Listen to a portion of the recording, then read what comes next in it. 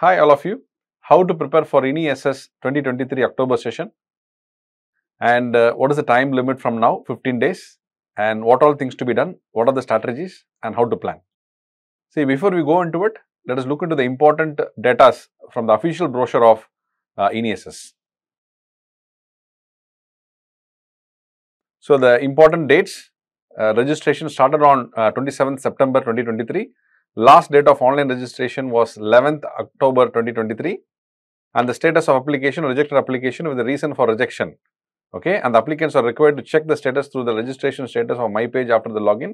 Is on 14 10 2023 and last date for submission of the required documents for regularization of the rejected application is 18 10 2023 and last date for the Ministry of Health and Family Welfare and the Government of India for the approval of regarding no objection for the foreign national. It is again 18 10 2023 and submission of certificate for subscribe or compensatory time as applicable and proforma A1, A2, A3 as per appendix is 27 9 2023. Finalization of centers and allocation of uh, the roll numbers and admit card is on 23 10 2023 and the written examination online mode CBT mode computer based test it is on 28 10 2023. That is October 28th, Saturday is the exam. So, two important dates are 1810 from now on 1810 10 23 to submit the required documents for regularization of the rejected application and the date of the examination is on 28th October. Now, the list of participating institutes from AIIMS New Delhi, Bhopal, Bhubaneswar, Jodhpur, Patna, Raipur, Rishikesh, Bathinda, Nagpur, Bilaspur, Mangalagiri, Rajkot, Gorakhpur, Bibinagar, all from 14 institution participates from AIIMS, JIPMER Pondicherry, NIMHANS Bengaluru, uh, PGI Chandigarh and Sri Chitra Institute of Medical Science and Technology and it is. So, totally 18 number of institute participate in INI program. Now, this is very, very important with regards to the age and AIIMS New Delhi and other AIIMS as a whole, the upper age limit is 35 years on 1st of January 2024 and born on or after 1 1 1989. Now, for PGI Chandigarh, the upper age limit is 45 as on 1st January 2024 and born on or after 1 1 1979. For NIMHANS Bangalore, up, age limit, upper age limit is 37 years on 1st of January 2024, born on or after 1 1 1987. For Chitra Tirunal, it is upper age limit is 40 years and 1st of January 2024, born on or after 1 1 1984. Now, for Pondicherry, there is no upper age limit. Okay, very good actually. So, upper age limit relaxation for OBC candidates is for 3 years. For SC and ST candidates, it is 5 years. Upper age limit relaxation for ex-servicemen and uh, commissioned officers including ECO, SSCO who have rendered or released on a satisfactory assignment with age relaxation by maximum of 5 years. Upper age limit is not applicable for sponsor candidates. Persons with benchmark disabilities uh, shall be uh, given upper age limit of 5 years relaxation for DM and MCH for PWD candidates as per right of person with disability Act 2016. NIMHANS Bengaluru upper age limit is 37 years of 1st of January 2024, born on or after 1 1 1987 for all category candidates. I mean, UR, OBC, EWS, SC, ST and PWBD. Very clear. Now, let us try to understand about the examination pattern. Total number of question is 80 and the time duration is 90 minutes and mark is 80 marks and the language is English and the type of is objective type of single correct answer and the correct answer will have positive 1 mark and the incorrect answer will have negative 1 third, okay, negative 1 third. Now, the syllabus very very important, the question paper will consist of questions from the general and basic component of the qualifying educational qualification. From the sub-speciality system or component, the specialty slash course for which the examination is being conducted. That means what they say is whatever the branch that you belong to, surgery, medicine, OBG, pediatrics or whatever the MD program or DNB or MS program you are doing. So, you will have questions from that and also from the specialty that you are going to choose what you want to do, you will have questions from those areas. Last year statistics says approximately 50 to 55 questions are from super specialty area and 25 approximately 25 to 30 range is from the basic feeder specialty that you belong to. Now, the qualifying criteria in stage 1 is 50 percent, okay, 50 percent. Now, there is a stage 2 exam is applicable only for AIIMS. That means, if you are qualified by taking 50 percent in stage 1 and you subsequently you have to sit for an interview session uh, for AIIMS institution, institution. So, there are 14 AIIMS institutions. For that, there is clinical examination, that is departmental, clinical, practical or lab based assessment, which carries 20 marks. So, that is called stage 2 examination. So, in stage 2 also, the minimum pass percentage is 50 percent. So, stage 1 and stage 2 has to be passed and then they will release a rank list that is called a AML rank list. So, there will be two rank lists. First rank list will be the common merit list and the second rank list will be the AML merit list.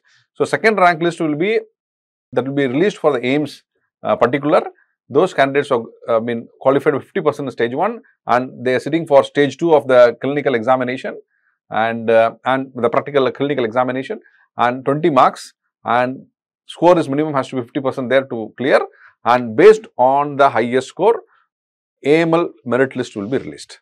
So, according to the merit list the students can take up and participate in the counseling to choose between from Delhi from 1st to 14th uh, institute belongs to AIIMS. Now, preparation of merit list I have said CML rank list is uh, based on the stage 1 of the examination that is common to all and AML is after stage 1 and stage 2 exam that AIIMS institution will release. Very clear? So, put together if you say stage 1 and stage 2 put together it will be 100 marks, 80 marks in CML and 20 marks from AIIMS practical Viva voce sessions. Okay. Now, total number of seats. This is the question that is asked to me. Sir, generally uh, people say sitting for uh, INI SS exam, the number of seats uh, are less. So, let me primarily prepare for NEET SS so that number of seats are uh, comparatively more so that I have a lot of chances to get into NEET SS. Try to understand before you get into such conclusions. Uh, I mean, INI SS exam happens twice in a year and uh, after the NEET SS of new NEET SS pattern was introduced of 150 question, number of students were appearing and taking up for INI SS has drastically reduced. Okay, just try to do an analysis here. Let us see total number of seats in DM and MCH. Now look into the DM seats. Uh, mean, uh, mean DM neurology. Mean totally 49 seats are there. Cardiology 41 seats are there. Cardiac anesthesia 22 seats. And DM pulmonary critical care and sleep medicine 25. And DM neuro anesthesiology and critical care 31. DM pain medicine 2 seats. DM gastroenterology 26 seats. DM nephrology 29 seats and DM medical oncology 16 and DM clinical hematology 8 and DM clinical pharmacology 11, DM neuroimaging interventional neuroradiology 11, DM oncoanesthesia 14.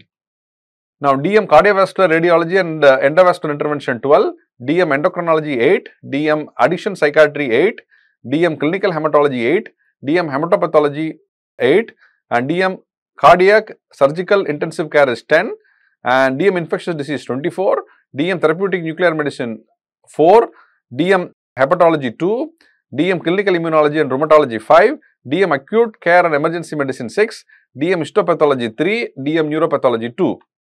And DM neuropathology 2 we have discussed, DM critical care medicine and intensive care 19, reproductive medicine is 2, medical genetics is 14, child and adolescent psychiatry is 3, trauma, anesthesia and acute care 1, metabolic medicine or metabolism medicine is 1, cardiovascular radiology and endovascular intervention 12, forensic psychiatry 2, geriatric psychiatry 1, hospital medicine critical care 1 and uh, DM medical and forensic toxicology 1, forensic radiology and virtual autopsy 3 and high altitude medicine in DM is 1.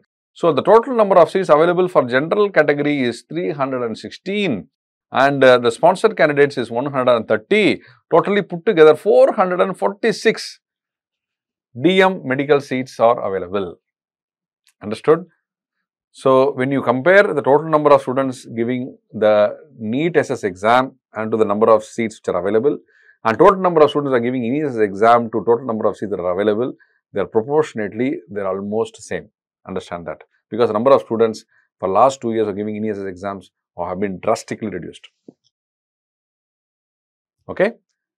Now, DM pediatric, when you see DM pediatric, and super courses neonatology 19 and uh, pediatric nephrology 5, cardiology 4, neurology 3, uh, pulmonary and intensive care is 4 and pulmonology is 2, critical care pediatric is 10, pediatric oncology 10, hemato-oncology 1 and endocrinology 3, gastroenterology and hepatology 1, anesthesia and intensive care 1, clinical immunology and rheumatology 1 and emergency medicine 1. Total number of seats is 65 total and out of that general seat is 42 and sponsor seat is 23. Clear? This is for pediatric. Let's come to MCH. See MCH neurosurgery 57, cardiothoracic and vascular surgery 45, plastic reconstructive surgery 43, pediatric surgery 33, spine surgery 1, urology 40, joint replacement reconstruction 4, trauma surgery and critical care 14, okay, surgical oncology 21, GI surgery 15, head and neck surgery and oncology 10, breast endocrine general surgery 8, minimal access surgery 10, gynec oncology 11, MCH for cornea, cataract and refractive surgery is 1, pediatric orthopedic is 1, renal transplant 1, vitreoretinal surgery is 1, vascular surgery is 1, hand and microvascular surgery is 1 and MCH sports injury is 1. So, total number of seats available in MCH is 319 and general seat is 254 and sponsored seat is 65. So, this is the total statistics. Okay. So, clear now you have an idea what is that you are interested in and to you are interested super specialty or DM or an MCH in your category what are the number of seats are available and again and uh, there is a list in the brochure and which all institute has what. I mean AIIMS has what, NIMHANS has what and um, has what, JIPMER has what and those attachments I can put it in the description under this video. So, you can just click it and look into that of institute wise. Understood? So, this is to tell you in gross, this is the number of seats are available. So, approximately when you see 319 seats for MCH and uh, 446 seats are available for DM and along with pediatrics around 65. So, totally almost close to 850 seats are available for this exam. So, what I will suggest you is if you have not started it, you have not done anything and I will recommend you either you give this exam and if you give this exam, give with a sincere attempt. That means at least go through this specialty videos, more focus. If you ask me, sir, more focus has to be either in general aspect of that means in your feeder branch, that means what you are studying in PG or studied in PG. Now, here the preference has to go for the specialty. The specialty will be the deciding. So, you have to focus for the rest of the days, 15 days, only on your super specialty that you want to do. So, what I will suggest to you is, you go through the videos, you have not started even once, 15 days remaining, just to go through the videos once at least. You can definitely complete within full time if you prepare, you can definitely complete within 7 to 8 days or the maximum 10 days. Then give the topic wise test and the grand test of ESS of 80 questions. And with that, you go to the exam and it will be a sincere attempt. And if you give a sincere attempt, yes, and you attend maximum number of questions, that could definitely make in a change and give you a change. And in case the preparation is also good and the day of examination also good and you have done well and you stand a very good chance to get into the INI SS rank list and the institute of your choice and the specialty of your choice. So, multiple exam is the rule that I always used to say that multiple exam you have to give so that one exam will be on your favor to your preparation and that exam will click in your favor and definitely you will be able to score well and get a good rank and get into the specialty and the institute where you wanted. So, what I am trying to tell you once again is don't keep on looking on to the NEET SS performance. Now, another distraction which could come in is the results. Now, I mean the expected results is on almost on October 15th or 16th and at that point of time little distraction could happen. Now, what I suggest you is those who are serious enough to prepare for INI SS, just do not look into anything. Just go on for another 15 days in the focus of INI SS only. Even the NEET SS results have come. If the results are good, be happy. If the results are also not in your favor, uh, great results, mean don't get down or don't get rejected. Just keep moving towards the INI SS preparation and you give this exam on 28th And after 28th, 29th and 30th, yes, 28th is a Saturday. 29th, Sunday, you can just keep analyzing what you wanted to do in NEET SS or INI SS. So, two exam, a dedicated exam that you should definitely uh, given. So, NEET SS and INI SS, these two exams, NEET SS already you have given, INI SS, I mean 28th if you give a dedicated attempt and 29th you can sit back and think what you wanted to do and INI SS results will also come, then definitely you will have a scope where to what to choose. If the NEET SS ranks are good, then definitely you go on to the direction of NEET SS. INI SS ranks are good, you go in the direction of INI SS. See, I will tell you, I mean, exams are different, preparations are different, and the background knowledge is different. So, those students who have not performed, in my experience, I'm telling you, those students who have not done well in NEET SS, not even a decent rank, yes, they have taken topmost rank. Yes, topmost rank. 1 to 10 or 1 to 5 they have taken and uh, they have gone into the system. There are situations where the students have given INI SS and they have not taken a seat and, and they have got a good rank and they tried the NEET SS, they have not done well in NEET SS. So, I mean, I am telling you, it is totally different. So, don't compare your performance with the last exam. Understood? Don't compare your performance with the last exam. Every exam is different and the timeline is different. So, I request you to keep moving along with that timeline and along with that exam that you are up to. So, that will give you better performance and better output. So, I wish you all the best and uh, all the success for INI SS and a great preparation ahead for the last 15 days and definitely you can reach out in case you have any doubt on this. So, as a speed team, we are always with you to guide you and help you and support you for this program. And uh, Speed has planned for two model exams, our grand exams, INI SS pattern new specialities, and also a rapid revision in high yield of the important topics before the exams of INI SS. And the, both the sessions will definitely give you an edge for your exam. And also session 1, session 2 and session 3 in the app definitely will give you all that you wanted as a resource for the specialty preparation and also for the general federal branch. Already you have been preparing for NEET SS. Definitely that will give you a great hand to complete your preparation for INI SS. And I wish you great preparation and all success. Okay. Best wishes to you.